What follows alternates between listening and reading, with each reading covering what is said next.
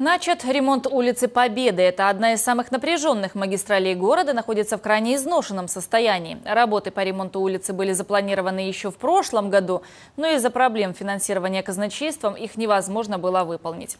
Городской глава Александр Син провел выездное совещание на месте ремонта проезжей части улицы Победы.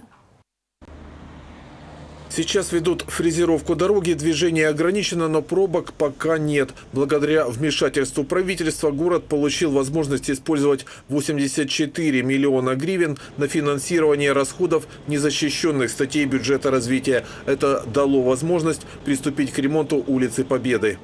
Мы сделаем от Тюленина до бульвара Шевченко средний ремонт обеих проезжих частей улицы. Это э, действительно одна из самых напряженных магистралей, находится в крайне изношенном состоянии. На данном участке у нас работает э, порядка 20 единиц техники, порядка 15 человек дорожных рабочих на установке бордюра.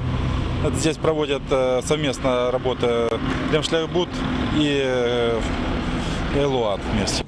Дополнительно будут выполнены работы по кронированию деревьев и замене бордюрного камня. Городской голова поставил задачу отремонтировать систему освещения разделительной полосы. Подрядчик обещает закончить все работы в сентябре, а из старой асфальтной крошки будут делать объездную дорогу в районе Вырвы, чтобы соединить Хортицкие и Ленинские районы, разгрузив таким образом мосты Преображенского в часы пик.